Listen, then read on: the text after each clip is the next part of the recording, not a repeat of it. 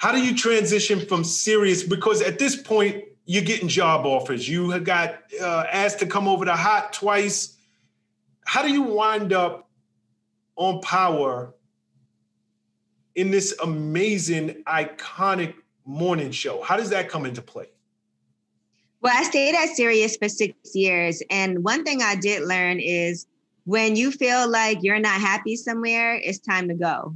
And so instead of staying somewhere and complaining about how unhappy you are and bitching, do your job, but have a plan to get out. And so I had a lot of people coming at me. They offered me Philly. They were talking to me about Atlanta. And then Power 105, they came to me. G Spin was like, look, we want to get you, you know, on this morning show. And so I was literally leaving the meeting uh, from Philly. And at Philly, they were like, listen, we want you to sign today. You know, we'll do whatever it takes. We're going to give you the morning show. They were like, we're going to rename the station after you while, you know, to help her. It was crazy. And I was like, it all sounded so great to me. They were like, you could bring in who you want, bring in your own team, however you want to do this show. I said, I was walking back to my car. And while I was walking back to my car, that's when G Spin called me and was like, listen, we want to talk to you about doing this morning show. The only problem was, you know, radio, it can move slow. So I had to turn down that job in Philly and hope that New York was going to work. Mm-hmm. And so I turned that down. And then I had to wait a few months for them to even come at me with a contract for New York. And I was like, man, I hope I didn't make a mistake and blow an opportunity.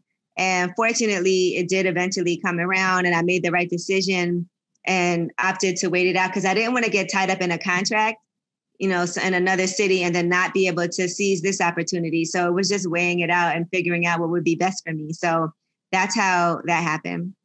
Was this the same station as Charlamagne was at out in Philly? Yes, it was after Charlamagne um, had gotten fired. I think it must have been 100.3 or something. Uh-huh. Because they were like, we're going to call it 100 point Yee, is what they were saying. and you know, you got to think this whole time, I'm not a radio person. So I don't know any program directors. I don't really know a lot of other radio personalities. And that Sirius was my question was to you. That, that's, yeah. that's what my question was going to be. Did you know um, G Spin at the time? I knew G Spin. You did know G Spin. You know, yeah, because we were in New York. And so I knew G Spin just from being out and about. And I was really tight with Michael Kyser from Atlantic Records. And mm-hmm. so a lot of people there I knew just because of him. But I didn't know these other, like, honestly, the program director there, um, Boogie D, he hit me up on Facebook and was like, hey, you know, I wanted to see if we could have a conversation about bringing you over here. And that's how we initiate, um, initiated the conversation. I didn't personally know him. And so a lot of times, even now to this day, like I feel like Envy and Charlamagne know all of these other like PDs and personalities, and I don't still. And it's something I have to be better at. I know a lot more, obviously, but it's just not like they're like, oh yeah, I remember when I worked at this station, and and it wasn't like that for me because mm-hmm. I've only been two places, Sirius and iHeart.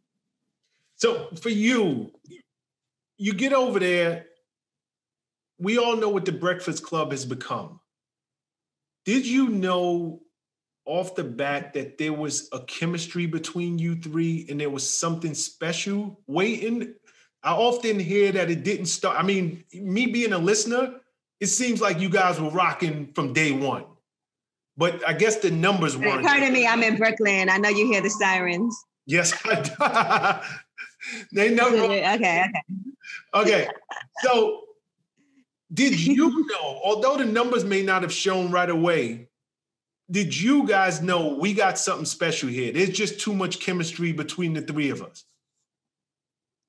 I believe that we all knew each other anyway ahead of time. And mm-hmm. so, you know, we were all going really hard at that time. And I, I just remember early on there were some like issues that people had with each other. You know, you know, envy is sensitive and Charlamagne could be a little crazy. So, but I think in general, everybody just wanted to win because so many people were telling us it wouldn't work. You know, people were telling us that a show with three people where no one is the lead person on the show can't work. You know, most morning shows would be like Steve Harvey in the morning, yep. or it's always one person. And then, you know, the Tom Joyner show, or the Wendy Williams show. Mm-hmm. And they were like, that can't work. It can't work like that. And so a lot of people said that. And now you see everybody's doing shows where it's like just the name of the show and not one person because now people saw that the formula worked And so people are trying to do it everywhere. But I think we just all were determined to make it work because, you know, Charlamagne didn't have a job at the time and he was anxious to get back into radio. He'll tell you he was at home, so just doing nothing. And then Envy had given up his shift to come to mornings. He didn't really want to do mornings because his experience on the Miss, uh, you know, working with Miss Jones in the morning wasn't that great. So he didn't want to do mornings. And so everybody felt like we got to make this happen. We got to win. And it didn't at first feel like it was going to happen. And it does take a while for people to be put together to find a chemistry because it's not like we had been working together prior to that. It's not like we had any prep. It was just bang, you're on. Now let's go and let's figure this out. But to their credit, what I will say is I think their plan always was to syndicate us, but they wanted to make sure that we were ready to be syndicated, which meant that we had to have our chemistry right. We had to have our segments right. We had to prove to them that we all were dedicated to doing what we were doing before they invested the time and money into syndicating us into other markets. And so that's how that happened. But I do feel like they had a plan all along. Well, I only ask you this because so many people set out, you know, they start their business or they start set out on these new journeys. And they might believe they have a great idea. They might believe I have a great product, but it doesn't immediately take off. And that's why. I was asking you, did you guys, you guys, not necessarily iHeart, not corporate, did you guys know we have something special here? If we cannot get fired, even though the numbers don't show right away, as long as we continue to go hard, we're going to eventually break through. And it goes to that old saying, persistence overcomes resistance. And I want, you know, I'm trying to bring a point out because mm-hmm. people tend to stop too early. As soon as they hit a right. little opposition, as soon as they hit a bump in the road, they start to question their own great idea and their own greatness. So for you guys, again, you know, I, I know that iHeart had a plan for you guys eventually. You know, I just want to know, did you feel that this was I don't care what the numbers say. We, we it's yeah. something special here. Yeah, and I think you have to feel that way, right? Because imagine doing something and then feeling like this is terrible. Like you have to feel like, okay, this is great. We just need to do this, or this is going to get to this level once we do this. And we were doing all these little skits and things like that to just promote the show and go viral. And we understood the importance of being on World Star at that time. And we understood the importance of making sure that we had these little viral videos that we were doing and and filming our interviews and things like that. We understood how important that was. You know, I have a marketing background. One of the first things I said was we need a dedicated camera person. We need to make sure that we are online. The reason people even knew who I was was because of the videos I was putting out back then. And I don't think people would have really known me like that otherwise, because it wasn't like everyone had Sirius.